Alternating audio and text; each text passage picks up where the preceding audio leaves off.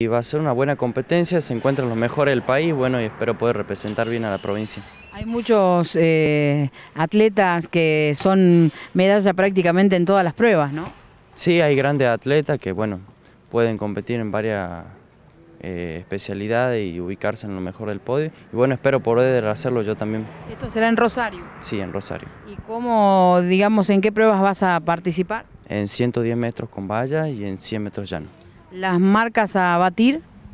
11 segundos 10 en los 100 metros y 16 segundos 0 en los 100 metros con valla. ¿Esas son las únicas pruebas en las que vas a competir? Sí, sí, estaría confirmando esas dos pruebas. Quedaría ver los 200 metros llanos, pero esas dos seguro.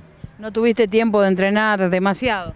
Y no, tuve unos tres meses después de las últimas competencias y es el torneo más importante del año en agosto, así que generalmente me preparo para fin de año ahora casi a mitad de año, pero bueno, con las mismas expectativas de siempre y poder superarme. ¿Quién estás viajando? Estoy viajando con Luciana Arriba y Emilia Batalla. ¿Y ellas también van a participar en este sub-23? Sí, ellas son categoría sub-19, pero se van a sumar al torneo este sub-23, le dan las marcas y bueno, espero que puedan también representar bien a la provincia. ¿Cuáles son las pruebas de las chicas?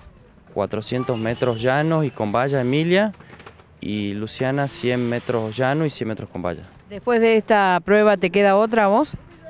Después de esta competencia me quedaría Copa Nacional de Mayor en Buenos Aires en octubre y también Juegos Universitarios Regionales.